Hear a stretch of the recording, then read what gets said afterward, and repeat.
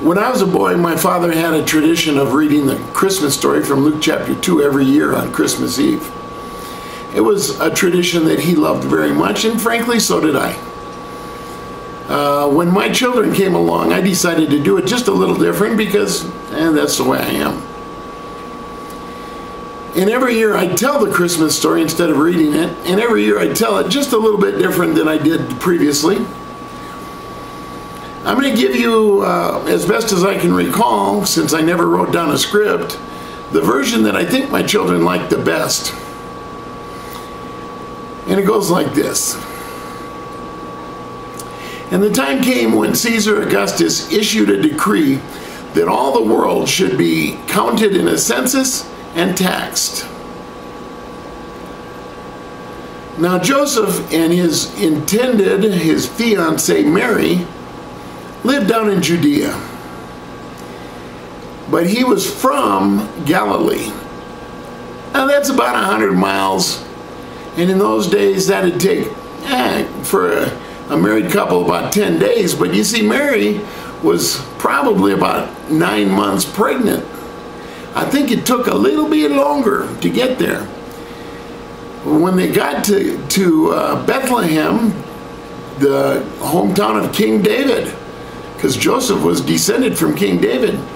They couldn't find any place to stay, so they stayed in a barn.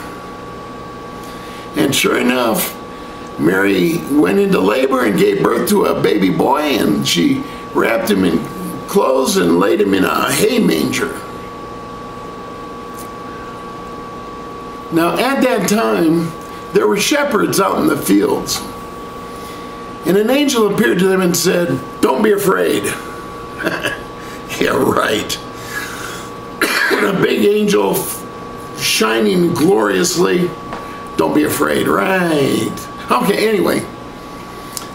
And the angel says, I bring to you glad tidings of great joy to all of mankind. For unto you is born this day in the city of the King a Savior and here's a sign you will find him in the manger of a barn. And all of a sudden, the whole sky was filled with brightly shining angels, and they were singing, Glory to God in the highest, and on earth, peace, goodwill to men. Oh my goodness, what a song. Well, when they disappeared,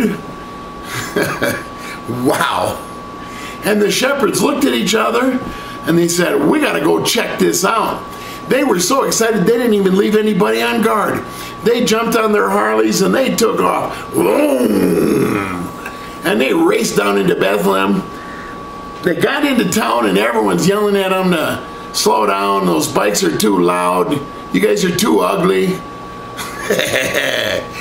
and they got the, and they split up and they found that baby and they they uh, started signaling each other and they all gathered together and they just marveled at here it is just as the angels said. And they told mary and joseph their story and it's, it's like wow. Can you imagine mary and joseph? What would they think? These guys have had too much to drink. I don't think so. And then not right away, but sometime later, along come three great big long stretch limos and they got a dozen Humvees riding escort. And out of those three stretch limos come three very wealthy wise scholarly men from the east. And they came seeking the king that was born under the star and they brought gifts of gold and frankincense and that also precious perfume myrrh that could be used for medicines. And they left these gifts with this newborn king. And I always wondered, what did Mary and Joseph think about